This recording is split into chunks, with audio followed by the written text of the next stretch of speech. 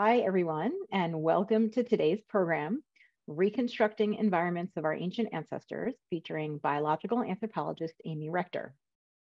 My name is Briana Pobiner, and I'm a paleoanthropologist and educator at the Smithsonian's National Museum of Natural History. I'm a brown and gray haired woman in an orange shirt in front of a Zoom screen with an African savanna photo with grass and an acacia tree behind me.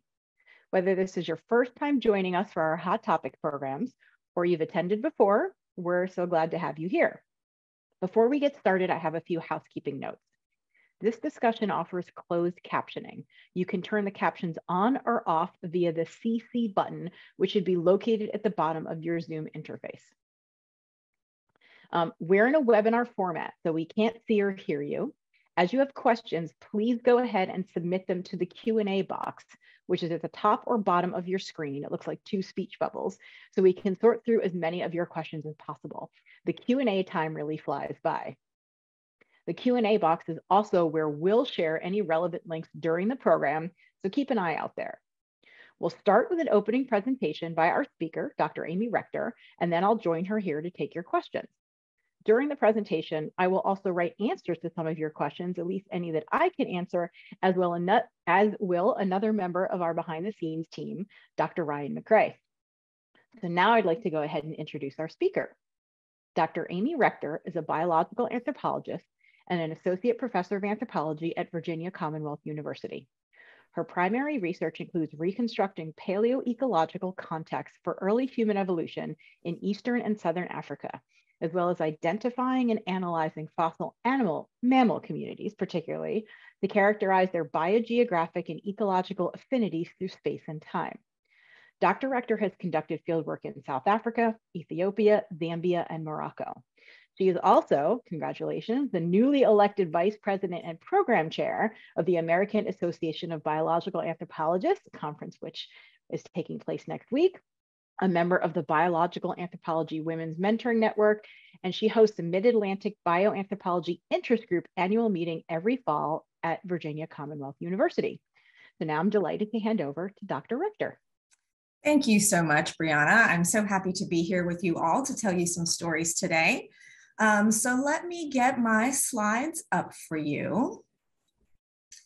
And I wanted to let you know that I have brown hair and I am sitting in my office at school, which means that there's a whole crazy thing of plants and all kinds of anthropologically related things behind me. So what I'm gonna do today is I'm gonna tell you a short story about finding fossils and what we do with those fossils. So the work that I do and the teams that I work with, we primarily work in two places. And I'm gonna give you some information about where and how we look for fossils in those places and then towards the end, I'm going to talk a little bit more about why we look for fossils in those places and what we do with those fossils once we find them. I do love questions, so please be putting questions in the Q&A so that we can all be answering. You are all probably at least a little familiar with a family tree that looks a little bit like this. This is the one from the Smithsonian Institution. And the representation of our ancestry as this branching tree with lots of different relatives. You are here up at the top, but we have lots of different cousins who have evolved over the last 7 million years and have different evolutionary fates and, and all kinds of interesting things that happen with them. Now, for me and my teams, I'm interested in a very specific time period. This one right here. And I apologize if there's noise from outside my office. I'm interested in this time period right here between about three and two million years ago, because they're the earliest members of our own genus, the genus Homo. There are members of other genuses like Australopithecus and Paranthropus. And so there are lots of potential ancestors of ours running around on two legs without giant brains yet, trying to figure out how changing environments and adaptations and, and really being bipedal and being a hominin, being an ancestor of ours is going to work. And so this time period particularly, there's a lot going on and there's not that many places in the fossil record that you can find evidence of species that were alive here at this time. And so this is where I get to this where and how we're looking for fossils and then what we do with them and why at the end. Often when you think about our ancestors, you might think about reconstructions like this. What did they look like? You know, what did they have a lot of hair? Did they not have a lot of hair? What did it mean to be bipedal or walk on two legs for our ancestors 3 million years ago or 6 million years ago? How did it compare to what we look like today? And I am definitely interested in all of those things. I love these reconstructions. I love thinking about what our ancestors look like. But for me, as a paleoecologist, someone who reconstructs the environments where our ancestors lived, I want to look at the background of this, this particular reconstruction first. I want to know what the world looked like when our ancestors woke up 3 million years ago in the morning. And they opened their eyes. What did they see first? What did they hear? Who were they worried was going to eat them? Who did they have to compete for resources with? So what was the habitat like? What was the paleo environment like? And so when I go and I look for fossils, I am interested in the hominins, in our ancestors, and I get excited. And most of my stories today are actually about finding our ancestors themselves. But really, what provides the information that I'm most interested in is everything else. What other mammals were on the landscape? What kind of antelopes were out there? Were the monkeys living in the trees or on the ground? And then what do all those things tell us about the paleo environment? You might also be familiar with a map of Africa that looks a little like this. This is showing us the East African Rift Valley system that runs just about all the way up and down the eastern border of Africa. And then there are some cave systems down here in Southern Africa. And all of these yellow, little yellow dots are showing us where most of our hominin fossils and hominin ancestors have been found. Um, and so one of the places that, that my teams look for fossils are is up here in, in Eastern Africa and one of the places where many fossils have been found. This year is the 50th anniversary of the discovery of Lucy. Um, and so the site that I'm gonna talk about is actually right next door to that site. Uh, so a well-known area where fossils are. Something I want to point out in this map, though, is a little bit of an open spot where maybe not as much exploration has been done, or maybe not as many fossils have been found. And that's right here in Central Africa. So the stories I'm going to tell you today are about where we look for fossils, both in East Africa and in a new place in Central Africa, and how we do it in both of these places. So I'm going to start with the one where we've been established there for a long time. We kind of have it down to a science, as they say. And so here's this map of Africa again, and you can see the Rift Valley, even without it labeled in any way. You can see the lakes and the, and the bits of the valley that show that that big rifting system is active and the site that I work at is in Ethiopia. And so it's all the way up towards the northern, northeastern part of Ethiopia in a lowland area called the Afar, the Afar Triangle, that's pretty hot year round. And this is a panorama of what it looks like. We just got back from a field season a couple weeks ago. And so this was from this particular field season. And our site is called the Ledi-Geraru Research Project. And like I said earlier, it's sort of nestled amongst a variety of other sites where lots of hominins have been found the last several decades.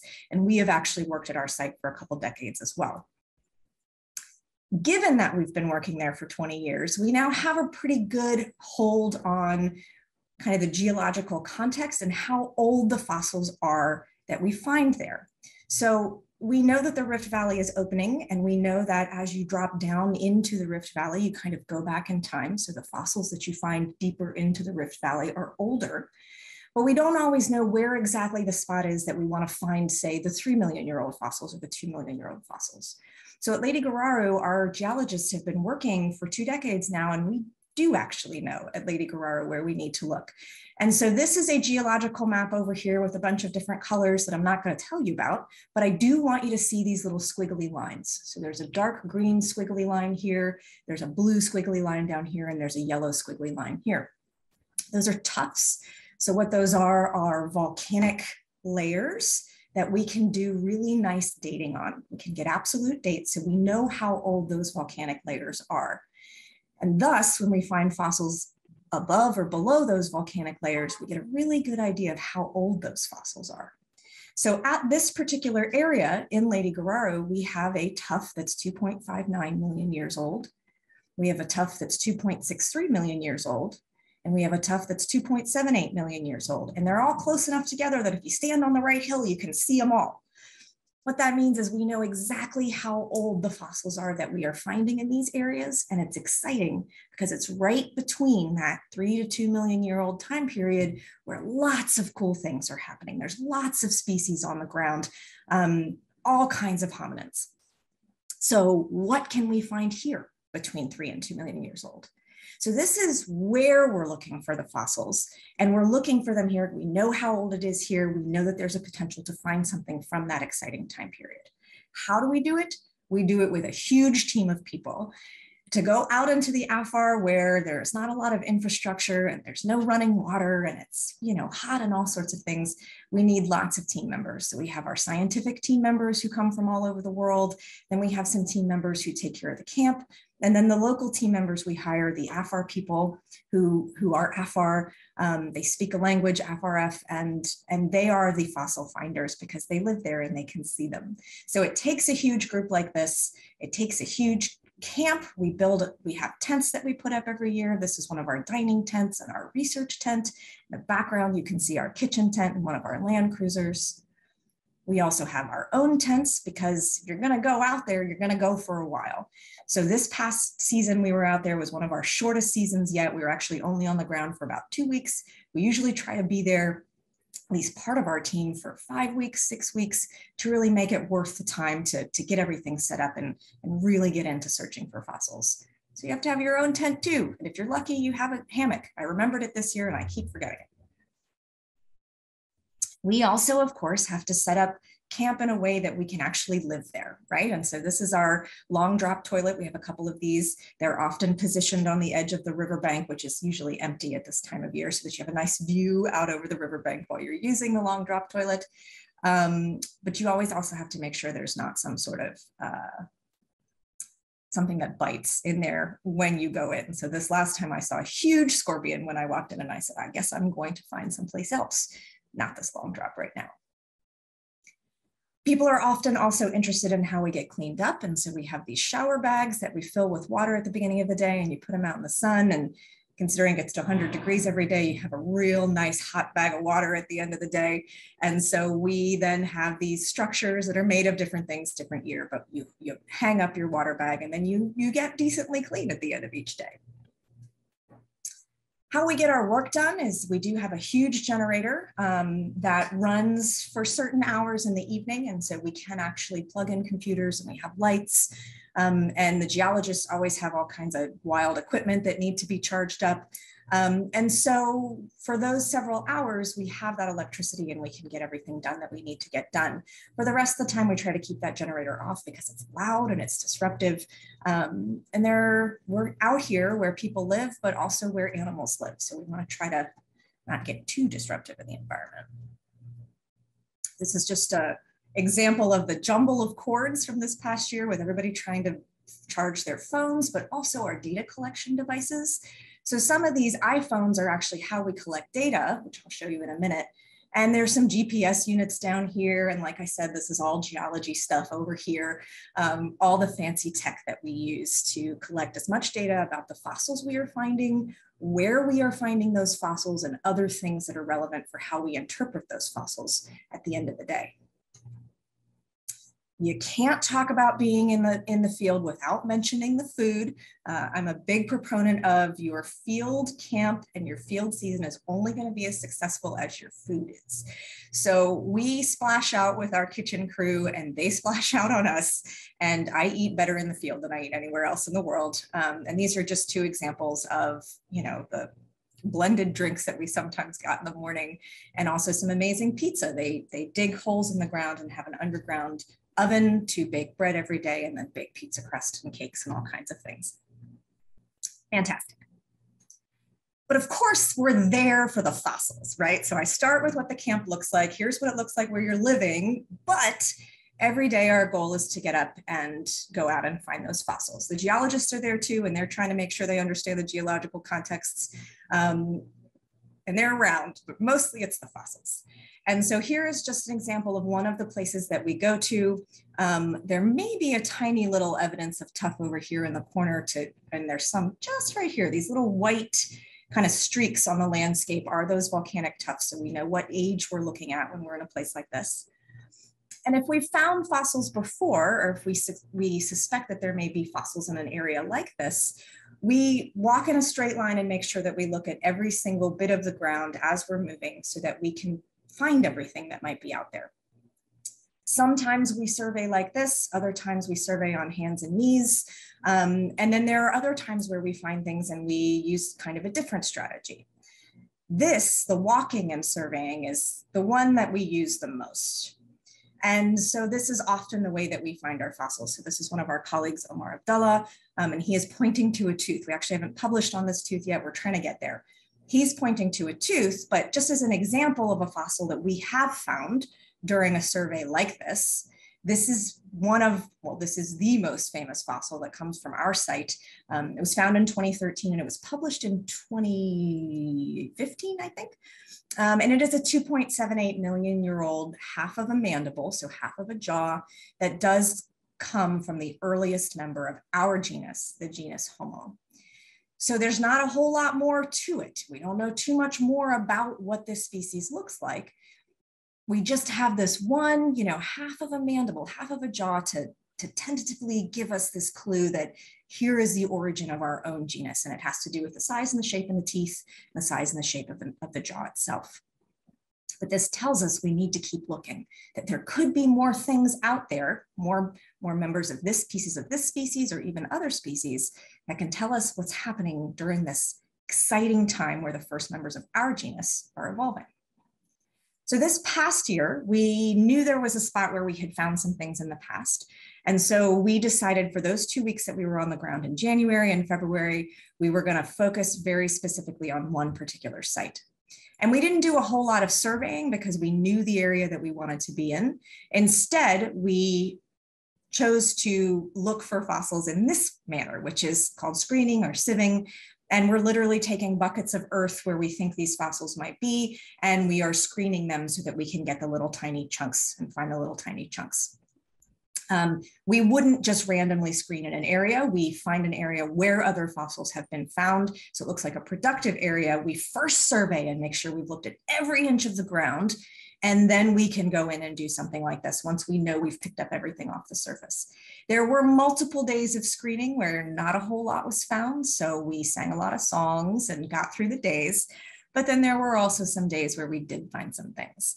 Um, so it was very exciting because this particular site is also 2.78 million years. It's the same horizon or the same time frame as that that half of a jaw from from early Homo that we found before. Um, so this is just my little teaser here where I'm pointing at a piece of a tooth that we found from there. So we're pretty excited about that. And this is us showing our colleague, Badao Mohammed. He is one of the AFAR who's worked with us for many, many years. He happened to not be there that day. So as soon as he got back, we showed him and he was pretty excited to share in that discovery. And so our AFAR colleagues are co-authors on our papers, um, the one we have submitted now and uh, moving forward because they are critical to us finding these species or these fossils most of the time. So just as kind of a pullback a little bit, we looked for fossils through survey, we looked through fossils for screening, and then we also need to make sure we're collecting all of the data necessary. So those were hominin stories, but most of the time we're finding mammals, and that's what I wanna find because I wanna see the antelopes and the mm-hmm. monkeys and everything else that might tell us a little bit about the environment. So here's just some examples of the way we take pictures and collect data so that we can have really nice maps of where we're finding these fossils. We know how old they are, we know how they relate to each other. Every day at the end of the day, all the fossils that we collect with their barcode numbers and all of the information that we put in a database right out in the field using one of these iPhones. So we take photos and, and enter them into the database immediately. And then we come back to camp and we get them cleaned up. Sometimes we label them, we put them in pretty little bags so that at the end of each season, all the fossils we find go back with us to Addis Ababa, the capital of Ethiopia, where they stay stored in either a vault if they are hominins, so if they are our ancestors, or in another storage area if they are not hominins. So I was looking for a picture of the vaults, and this is the one that I found. These are two of my colleagues, and they're looking at that mandible, the LD 350, that early Homo mandible from years ago. But back here in the background, what you can see are these big bank vaults. And every single hominin or every single ancestor of ours that's been discovered in Ethiopia, no matter what the project or where it's been found, is placed in one of these vaults for safekeeping. And so then your project has a vault and you can get keys to your particular project. I don't spend a lot of time in this room because I don't study these guys. I spend the time in the other room where the other fossils are. And I'll come to that in a minute.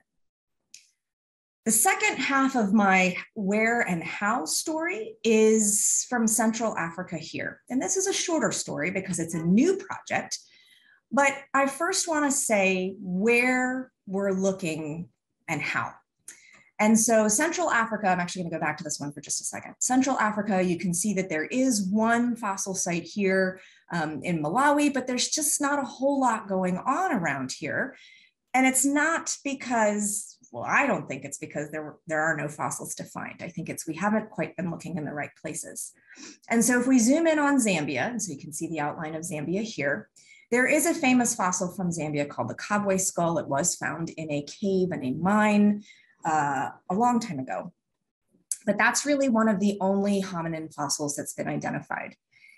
Here's another map of Zambia with some of the national parks. And this is important because Zambia has a lot of natural resources that are relevant to our study of, of human origins. So there are habitats in Zambia that we think are very similar to where our ancestors evolved. In one of these places, in one of these habitats where we think our ancestors evolved, a riverine habitat or a um, forest that's, that's associated with a river, there was a team in the 20s, early 2010s that did some exploration and found some fossils of a monkey that they identified to a species that was alive between about, sorry, I, I can't see it. There we go, 3.3 to 2.4 million years ago. And so right there, that's the ding, ding, ding, that's the time period we want, three to two million years ago. Maybe we should go look here. That team decided they weren't going to be looking anymore. And so a colleague of mine and I, we decided, you know what? There's not a whole lot from Central Africa. That's the magic time period where the earliest member of our genus and some other species are alive. Let's go look, let's go do this. And so we did. Uh, my colleague Thierry and I from uh, Western University of Health Sciences, we put together a project that we call the Zambia Rift Valley Research Project. And we went and we looked for fossils. But most importantly, from my perspective, as an ecologist, a paleoecologist, we didn't just look for fossils, we thought about that modern habitat and we think about that modern habitat. Because this riverine forest here, so you can see this huge undammed river, it's one of the last major undammed rivers in Africa. It still floods during the rainy season and gets really low during the dry seasons. That type of river with its associated forests, we think is maybe a place where our ancestors would have liked.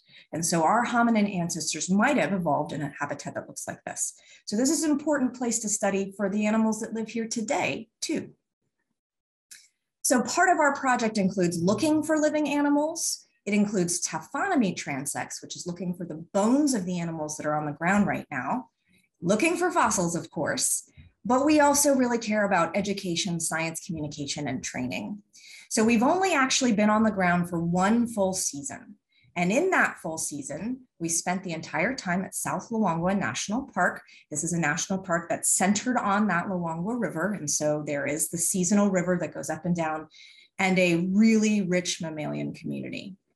And during that season, we did live animal census, which literally means we drove around and took down information about the animals that we saw, where they were, what the temperature was, who were they, how many were there, so that we could get an idea of what the living population on the ground in an environment like this looks like. What is that mammalian community like living there today? Uh, it's cool. There's some lions, there's some leopards. You see them all the time. If you want to see these types of animals, you should go to South Luangwa National Park. But we didn't just look for the animals that are alive, we also looked for the remains of animals that had been alive. And so we did what are called taphonomy transects, which is walking and looking for bones on the ground and then recording data about the bones you find on the ground. Dr. Pobiner is a expert in this. So if you have questions about this, she's really the one you should be asking because I've learned a lot about what I know from her work. And so as we were walking in the park, you see lots of dead things and lots of lots of remains of dead things um, with lots of information you can collect and then compare who's alive today, but then what signal do we find on the ground based on the skeletons that we find? Here's an example of one of our teams doing a transect that's very similar to the fossil survey, walking across the ground, collecting data about the bones that we find. We did this in multiple different habitats so that we could decide or we could test, are there differences in the bones that we find close to the river versus far away from the river? Are there differences in the signals that we find in the floodplains versus the grasslands? And then at the end of the day, what does that pattern of bones on the ground, how can we learn from that to interpret a potential fossil record? What are the fossils we find? Is the pattern similar to what we find on the ground from the living community? So we're trying to put multiple pieces of information together to characterize both the living community and the community we would expect to find in the fossil record. Speaking of fossils, we did look for fossils. We found quite a few fossils.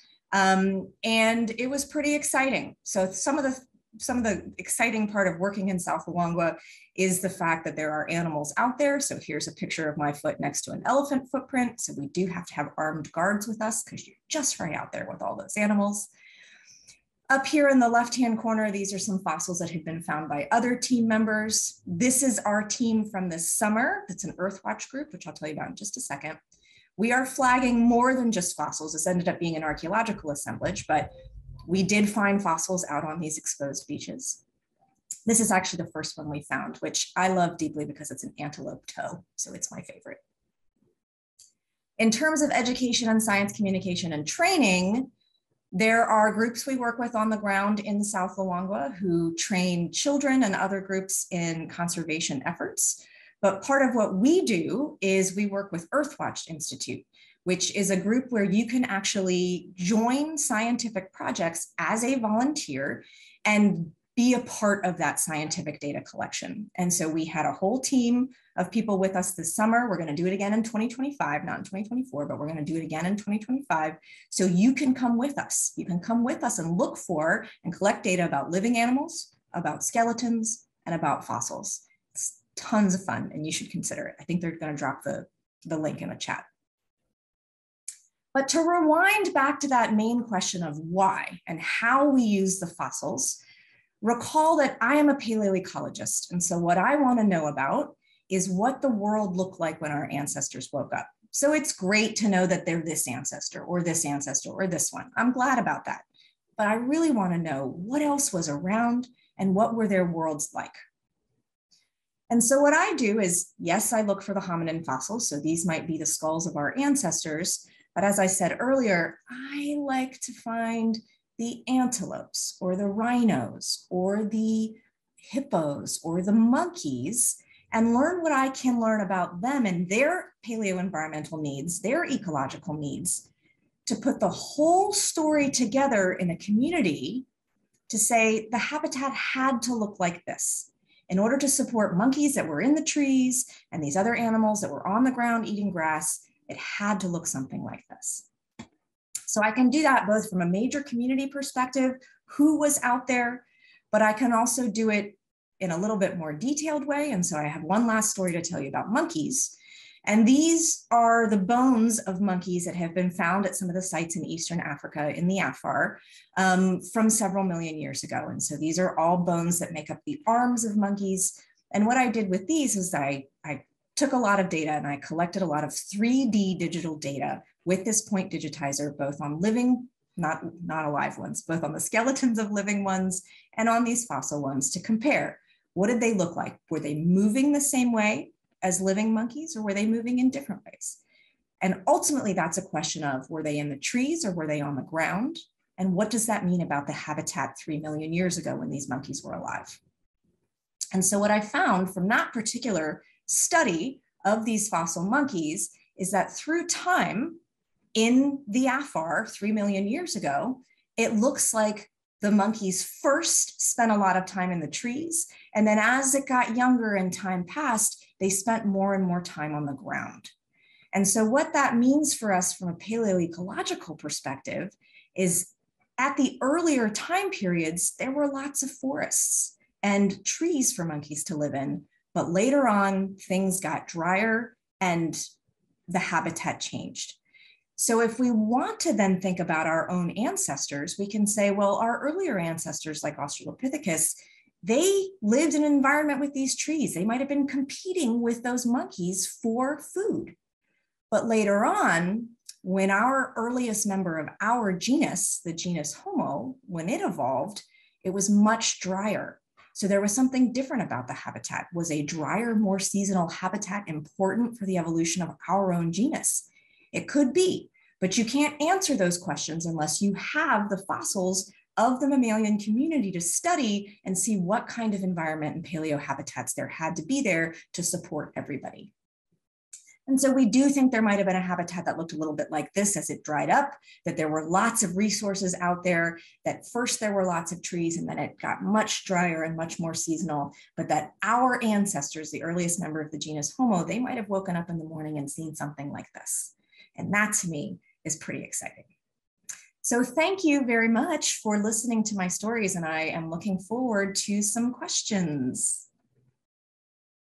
Awesome. That was wonderful. Um, I really enjoyed all those different stories. And of course, um, doing similar research, it was really delightful to hear a little bit more insight into your project and to get um, a little glimpse behind the scenes of sort of what camp life is like doing field work. Yeah. Um, okay, we already have questions coming in. So I will ask, uh, the first question is from Tad. And he says, Dr. Rector showed a few different maps of Africa. One thing, though, that I don't recall ever seeing is a map of Africa, let's say six million years ago, or two to three million years ago, which is her focus, or two to 300,000 years ago when Homo sapiens emerged. I presume the geography of the continent and even its basic outline or shoreline was very different. That is a fantastic question. And now I'm envisioning a very cool map. Um, and I'm not totally sure what would be on it, but even over the last six million years, the outline of Africa is probably pretty similar. So mm-hmm. as as um, what are they continents you know moved around over millions and millions of years there's a bit much sort of deeper scale for for major continental movements so I would say the mm-hmm. outline of Africa is probably pretty similar over the last six million years, but you are correct about things like the, the Rift Valley would have been in a different size and shape. Um, we think, in fact, that the rifting movements and the changing rivers and lakes associated with those valleys as they were opening up that those probably had deep impacts on the hominins that were evolving there and the communities that were living there um, so I actually think that's a really great idea to have some maps to kind of show, especially the movements of the rifts. There might be something like that out there, but especially the movements of the rifts and how um, the water sources, especially, and sort of highlands versus lowlands altitude would have impacted the species on the, on the, on the landscape. It's a great question. Excellent. Um, I'm going to bounce to one of our behind the scenes teams questions because um, we have a couple questions for you as well. So this is a sort of um, camp life question. So, in your perspective, what's the most difficult aspect of living and working in such a remote place? And what's the most rewarding or enjoyable aspect of that? Those are great questions. So, I have answers that kind of hit both, but um, not too long ago, when you went out to the Afar, you were really out away. Um, and so when I first went to Hadar, I worked in Hadar in 2001 and we had three minutes a week on a satellite phone, and that was it. That was the only contact you had with the outside world. I was there for two and a half months. And the first minute and a half of your three minute call would be waiting for like the delay for the ringing. And so it was, it was really feeling like you were disconnected. Now we all have Ethiopian cell phones and you can call and you can email. And so you're still connected to everything. So on one hand, that's great. And on the other hand, I would kind of like to be able to check out a little bit more. Mm-hmm. Um, one of the hardest parts is um, just, I would say the heat really, it gets really hot and it, it stays hot at night. And so that can be difficult to sleep sometimes. And so that kind of disruption, like you really have to work on making sure that your hydration is balanced and you, got to concentrate on drinking. And, um, and so that can be pretty hard, but generally speaking, the whole thing is really rewarding. Um, camp life is so great because you're all experiencing the same thing at the same time. The entire crew is there. So the crew who takes care of the kitchen and, and all of the camp is there, as well as the AFAR stay with us. That's not how it works on every single project, but the AFAR that we hire do live with us. So we all have breakfast together, we all have lunch together, we all have dinner together. And then in the evenings, we're all hanging out, talking under the stars. Um, and it's just the best. It's one of the best parts about fieldwork. And that's one of the reasons I talk about the camp so much is because it's just fantastic and I want people to know. I love that. That's awesome. Um, here's another sort of related question in a sense. Um, so Noah asks, what's the longest a field research trip can possibly last? I think potentially, I was going to say the sky's the limit, but really your budget's the limit, right? Yeah. um, I know that in the AFAR, especially, it does get too hot. There are periods during the summer where it's just untenable. You cannot be out there during the day looking for fossils. So it couldn't be year round in the AFAR. Mm. Um, but I do know that people go for several months. The longest I was there was about two and a half months. Um, so two to three months, I think, is probably on the longer end of some seasons, mm-hmm. but that might be different in different places. In South Africa, where I've worked, we the cave was, you know, a drive away from a major town, like a 10 minute drive. So we just lived in a house. And theoretically, your season could go all year round because it didn't really get too hot or too cold. It was a little nasty in the winter, but it was doable. Um, so you could do it all year. And so that is really where the budget is the limit. There's also a rainy season that we have to worry about. I was just going to ask that. Yeah. Yeah. yeah. Okay. Yeah. Whether yeah. a rainy season would interrupt your work. Yeah. Absolutely. So there's rainy mm. season in Ethiopia, but the rainy season in Zambia is truly disruptive because mm. they call it the emerald season. That's it rains so much and the river comes so high that a lot of the people who live there just kind of have to buckle down and be muddied in. Like you just can't get out sometimes. So wow. it would be impossible and we would not be find any bones or anything on the ground during that time period at all. Yeah. Speaking of finding things on the ground, Kylie asked, what's the most common fossil to find? Ooh, well, the most common fossils are my favorites. Um, usually it's an antelope of some kind. Um, mm-hmm. Teeth in general, I would say, are some of the most common because teeth are dense and they fossilize really well.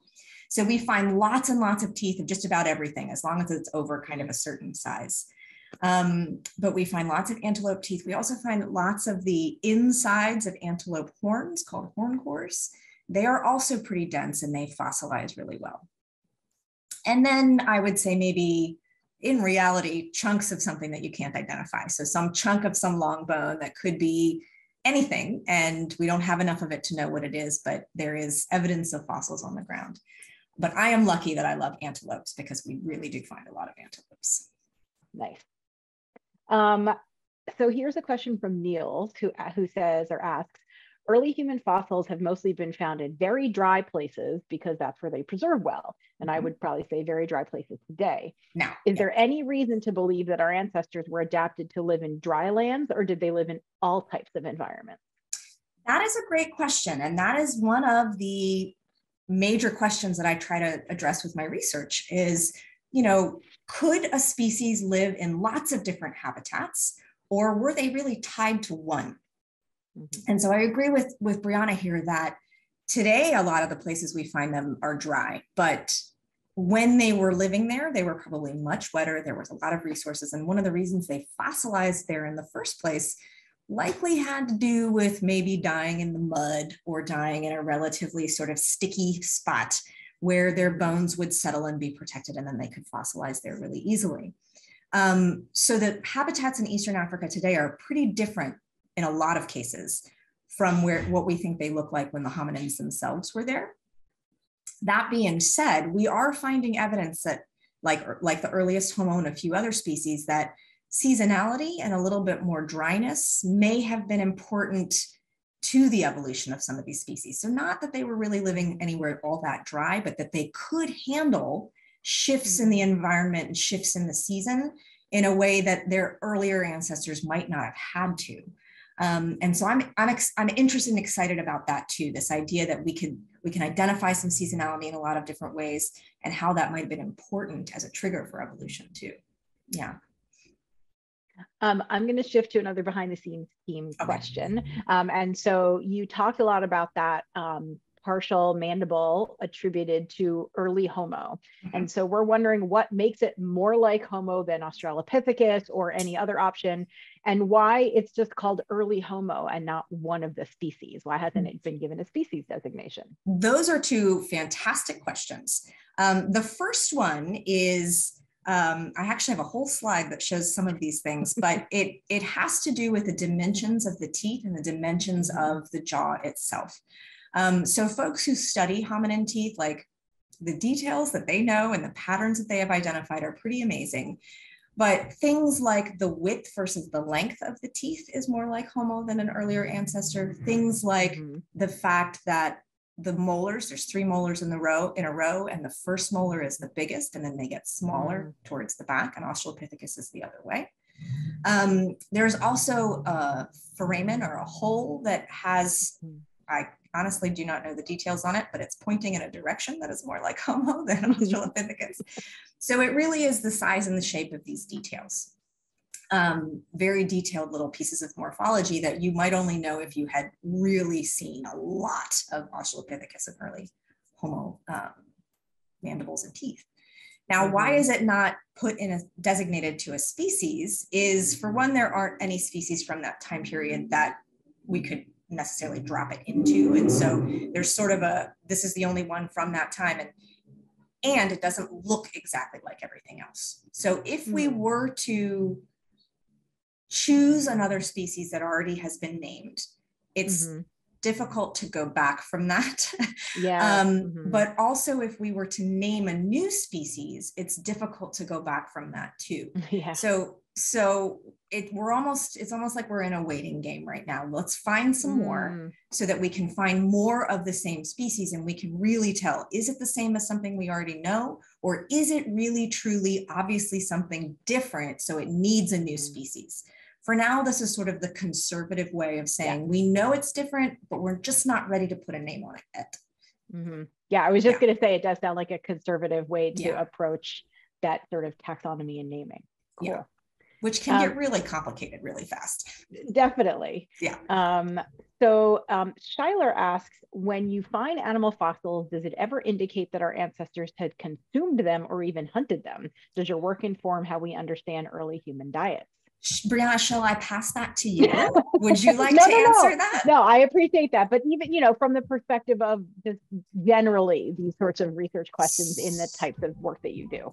Um, so yes, so right about this time period, we do have some stone tools from a different area, not the area that I was showing you on that one map, but from a different area of our site that is that are 2.6 million, a little bit older than that. Um, and so we do find stone tools around for one. That doesn't necessarily mean anything, but we do find stone tools. But we have found some cut mark bones occasionally. And so that does mean that, um, you know, tools were at least used to cut these bones for whatever purpose they're using.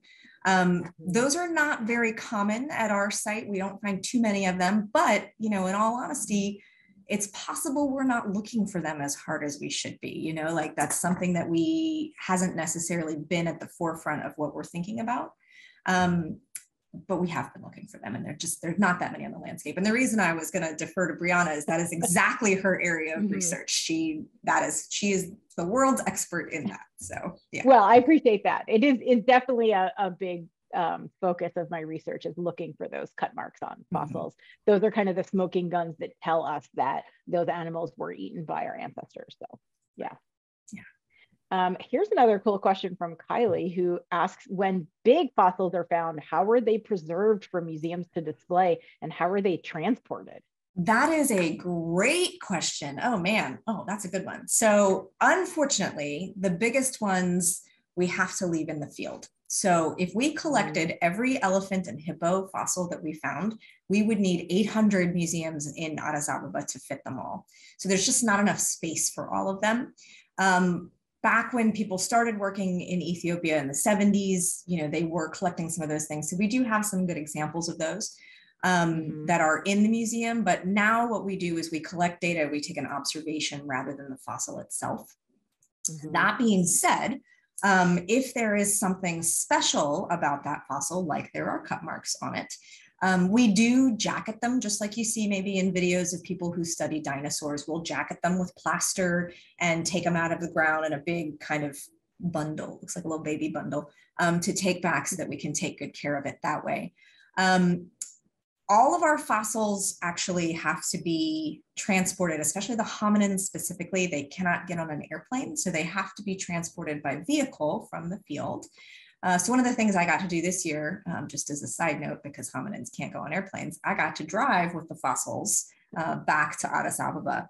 Um, and so we have big land cruisers and theoretically you could put, you know, you could fill a land cruiser with an elephant skeleton, which I think we have done before. Um, but generally we don't because there's just not enough space. Um, mm. So yeah, it's always disappointing to come across a really cool hippo and be like, I can't take you home, but let me take a picture. So why can you not put a hominin on a plane?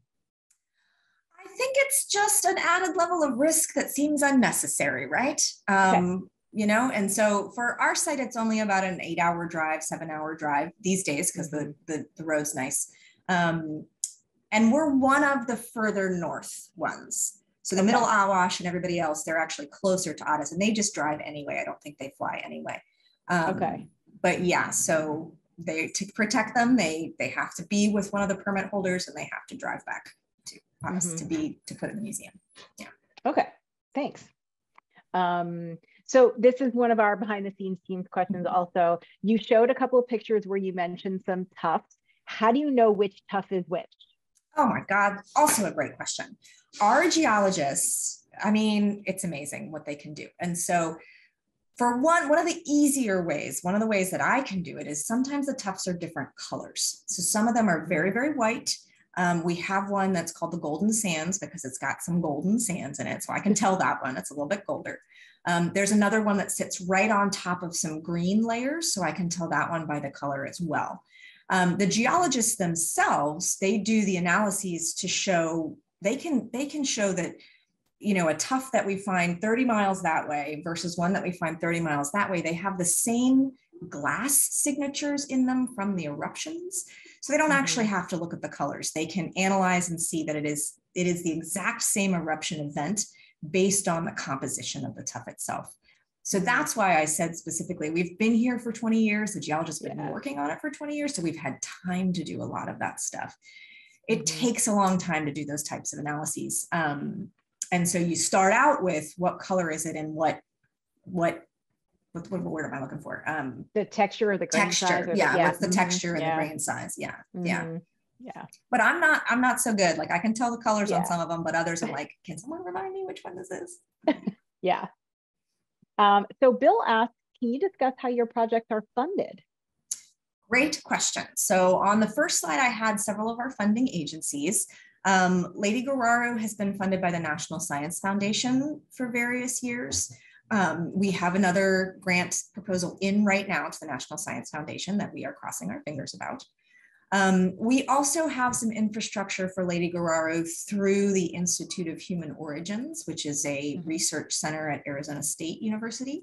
And by infrastructure, I mean the vehicles are owned by IHO. So we don't have to rent vehicles. We don't have to buy vehicles. The only thing we need in our budget is to maintain them and pay for gas, that kind of thing. Mm-hmm. Um, we recently got a Leakey grant to, to do some of this work as well. And so that, that's, I think, our first Leakey Foundation grant for this particular project. Um, and then for Zambia, we have had a couple small grants, but the Earthwatch grant is an interesting mechanism and mm-hmm. so it's not a grant in the sense that they hand you a bunch of money to do your work, but it is a grant in the sense that they give you teams of people to help you do the work. And that mm-hmm. so fun. I was a little bit nervous about it, but it's so fun because we had four different teams of really interested citizen scientists who wanted to be there, wanted to learn to look for fossils, wanted to be looking for bones, just had the best time and really were our eyes on the ground. We could not have done it without them. Um, and so that's why we're going to do it again with Earthwatch in 2025, because um, we just had a great time and we collected so much data. And so it's great.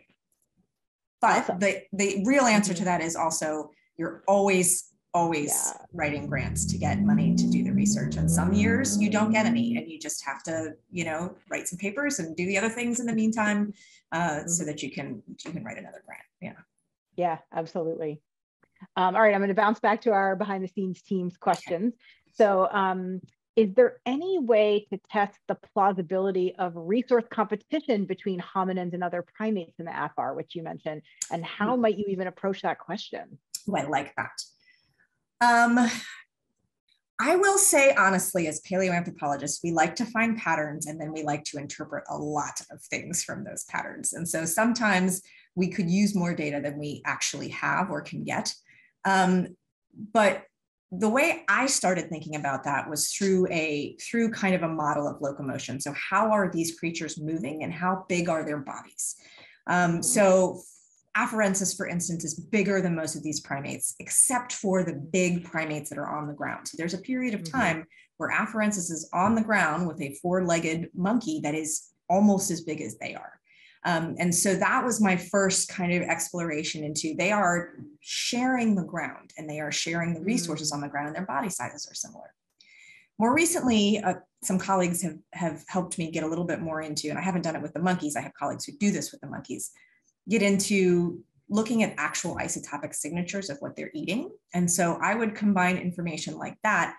Does it look isotopically like they're eating very, very similar things?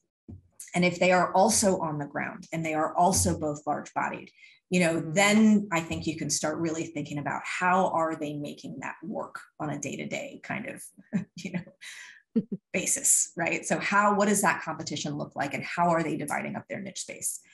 And then usually it's, you know, they're not the only ones trying to eat those particular resources. There are other animals in the environment doing it too. Um, so mm-hmm. those are the fun things I think to think about. Yeah. I'm going to ask you to talk a little bit about like that, that you mentioned an isotopic signature. Like, mm. what is that kind of analysis and how does that work? So it's really fun to collect isotopic or to collect dental samples for isotopes. So mm. just to start with what you actually do is you find mm-hmm. a tooth and I'm looking around as if I have it on my desk. I don't. um, some people use Dremel tools with little tiny, you know, the little tiny whirly drill bit tips basically, or drill tips. Um, our team uses mani-pedi kits, which are really easy to control. and so we have, and mine's purple, which I really like. I have purple mani-pedi kit, and you just, you drill the tiniest bit of enamel off of a tooth. You don't need very much, but you need to try to make sure that you're just getting the enamel itself. So you have to be careful about where you're sampling. Mm-hmm. And then that tiny sample gets sent to a lab where they basically analyze it for ratios that are related to the amount of carbon and the amount of oxygen, and there can be other ones. But those ratios of carbon and oxygen will give you some information about were animals eating a certain type of plant or were they drinking a lot of water? Did they have access to water? Did they not have access to water? And so you can get information like this antelope tended to be eating a lot of grass in dry mm-hmm. habitats. So you can get that from an isotopic signature um, of carbon and oxygen. There are others, they're doing some nitrogen work now that I think, or they have been for a while, but that can give you a little bit of information about meat eating. Um, so it's mm-hmm. actually, you know, there are these different levels of data, but when you take isotopes from a tooth, you're actually getting a chemical signal of what that animal consumed during their lives. Um, mm-hmm. And then you might use it and also add information like what kind of wear pattern. So what did it look like with wearing down their teeth? What does that tell you about their diet? What were the shapes of mm-hmm. their teeth? What does that tell you about their diet? So there's lots of bits of information you can put together. Um, before, I think I'm going to probably go to our last question in a moment, but I just wanted to share a comment from Brian who said, I also appreciate your stories from the field. I'm an Egyptologist and have wonderful memories from my time on digs. Fantastic. So, oh, I'm jealous that you. have been on digs in, in Egypt. That's cool. um, okay, so this will probably be our last question. Um, and other than giving us clues about the environment, what else can the fossils of primates, antelopes, and other animals tell us about our hominin ancestors? That's a great question. And I think they can tell you a ton of stuff. For one, from kind of a, a big picture standpoint, I showed you a family tree of our ancestors and it looked there's a lot of branches. There's a lot of animal or species at the same time evolving in different ways. There's a adaptive radiations multiple different times.